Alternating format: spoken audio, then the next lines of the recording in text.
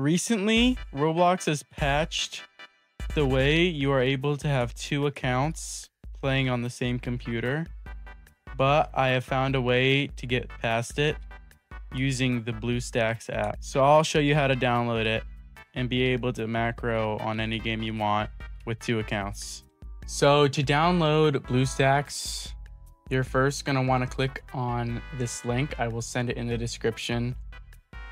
As you can see, uh, this is what it looks like. You're just gonna wanna click this button, download BlueStacks, save it, open it, and then you're gonna click agree and install. You're gonna go through the wizard. There are ads on this, but that's just the price you have to pay. But once you get into Roblox, you won't get any ads. You're gonna go up here into the search and search Roblox. Click on this. You're gonna click install from Google Play. Now you will have to sign into your Google account. Now for some people, if you click install, uh, it'll just pop up with sponsors.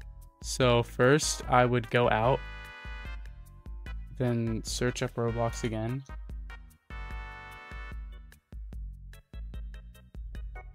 And then it'll start installing.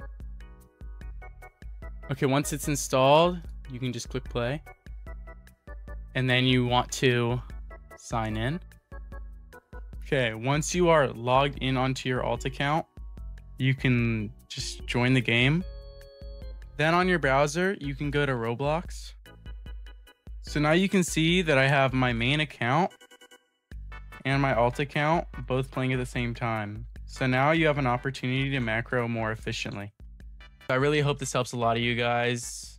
I know some people had some problems with the way you are able to macro the most efficiently on some Roblox games, such as Plants vs. Brainrots. So this should fix it. So just watch that video as well if you want to know how to be able to macro with two accounts running.